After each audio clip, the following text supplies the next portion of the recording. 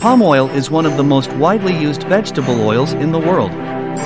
It is versatile, affordable, and has a long shelf life. But before it can be used in cooking, cosmetics, and other products, crude palm oil must be refined, bleached, and deodorized. In this video, we'll take a closer look at the process of turning crude palm oil into the high-quality, refined palm oil we know and love. Crude palm oil is extracted from fresh fruit bunches through a process called pressing. The fruit bunches are first sterilized and stripped of their outer layer, leaving behind the fruit and the oil-rich mesocarp. The mesocarp is then pressed to extract the crude palm oil. Once the crude palm oil is extracted, it is transported to a refinery. The first step in the refining process is to remove any impurities or contaminants from the crude oil. This is done through a process called degumming, which involves heating the oil and adding water to remove gums and other impurities.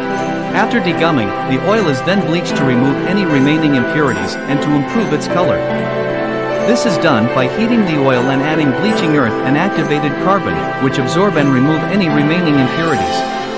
Finally, the oil is deodorized to remove any odors or flavors that may still be present. This is done by heating the oil to a high temperature under a vacuum, which removes any volatile compounds that may cause off flavors or odors. And there you have it, refined, bleached, and deodorized palm oil, ready to be used in cooking, cosmetics, and other products. While this process may seem complex, it is necessary to ensure the purity and quality of the final product. Thanks for watching, and we hope you learned something new about the processing of crude palm oil into refined, bleached, and deodorized palm oil.